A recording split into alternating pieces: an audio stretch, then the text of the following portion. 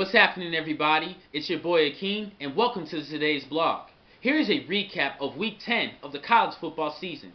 Penn State coach Joe Paterno won his 400 career victory as a head coach with the win over Northwestern this past weekend.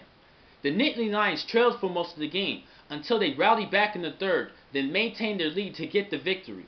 I would like to congratulate Coach Paterno for having a great year and accomplishing a magnificent feat. Your legacy will be remembered for a long time. Great job, Coach.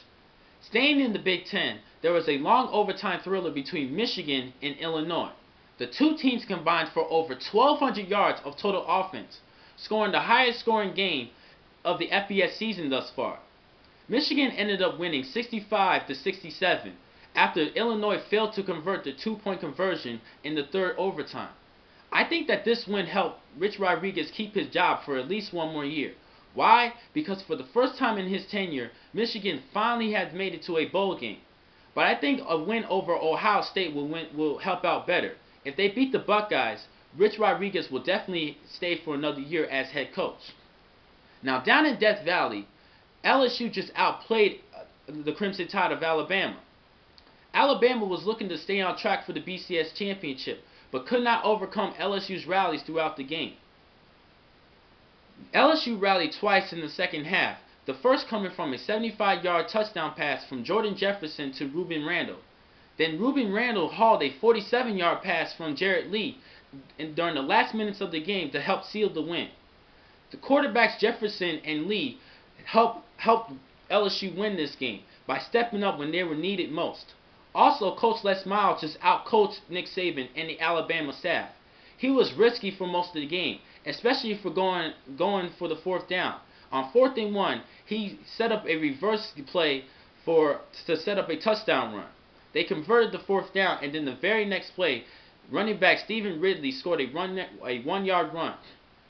Also, he designed a great defensive scheme to help slow to help LSU defense slow down the Tide offense. He did a great job, and this is why they won the game. Other notable games were Arkansas over South Carolina, as I called it on my prediction, but I did mess up on the Baylor Oklahoma State game. Oklahoma State crushed Baylor thanks to Justin Blackmon's return off of a suspension. He had 175 yards receiving and a touchdown and a 69 yard touchdown run in during the game. He came back with a vengeance and he came back big. Also, Texas A&M beat number 9 Oklahoma. It looks like the Aggies are getting it back together. The key highlights of the game was that the Aggies stopped um, Oklahoma three times in the goal line. Three goal line stands. Big win for the Aggies. It looks like that they're turning their season around. For my game for my game of the week, TCU just completely shut out um, Utah for most of the game. They crushed them 47 to 7. Come on. This is the number five team in the nation, and TCU held them to just seven points. Seven. Great job. They just they just controlled the whole game from start to finish. Big win. Now, another non-BCS qualifier who won big was Boise State, who beat Hawaii 47, 42 to 7. Quarterback Kellen Moore threw for 507 yards and five touchdowns in just three quarters, sitting out in the fourth.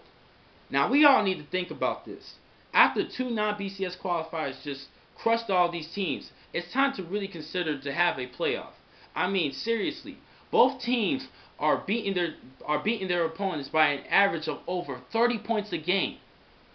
Come on, voters. BCS voters need to change the system. Stop going by a stupid computer and start listening to your hearts. You know teams have caught have caught up over the years. TCU and Boise State are, are, are among the nation's elite, and it's time to start giving the playoff and giving them a shot for the national title. TCU is still ranked third, and Boise is still ranked the fourth team in the nation. I believe that they deserve a lot of consideration to be at least part of a playoff or and a consideration to play for the national title. Times has changed, and it's time to start going going a different direction. Stop doing this stupid BCS system and start having a playoff. Give every team a shot to play for the national title. That's all I'm saying. I think this is something that you should really consider thinking about. Thank you for watching today's vlog. I'm Akin McCall. Be easy.